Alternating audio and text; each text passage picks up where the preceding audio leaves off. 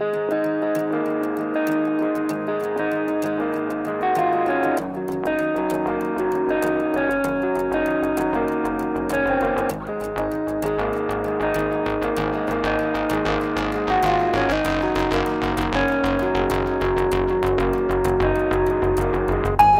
A UERJ, junto com uma startup, está desenvolvendo o projeto E-Museu Nacional do Esporte, que é uma iniciativa de contemplar numa plataforma virtual e depois física o acervo dos heróis nacionais do esporte através de colecionadores já existentes.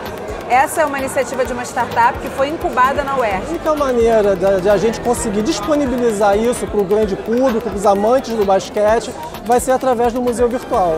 Vamos, vamos abraçar essa ideia, vamos fazer o museu virtual, o protótipo do museu virtual do esporte sendo material do basquete. Aqui eles estão fazendo é, um, melhorias, estão conhecendo o protótipo que a gente já, já tem, que a UERJ já preparou, e em cima desse protótipo do e-museu, do museu do, que é hoje com material do basquete, eles vão propor melhorias.